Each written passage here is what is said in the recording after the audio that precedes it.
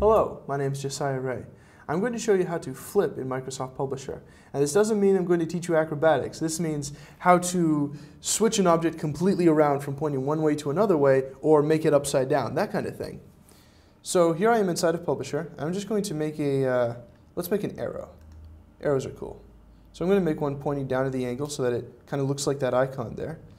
And Suppose this was some kind of more complex object, kind of use your imagination, and we want to have it pointing the other direction. So like you've got a publication or a magazine where you want identical objects on either side of each other pointing in opposite directions, mirrored. What we're going to do is we're going to come up to this Arrange menu button, and we're going to scroll down to Rotate or Flip, and we can rotate along 90 degrees, which is kind of cool, you know, a little bit more precise. But we want to flip horizontal.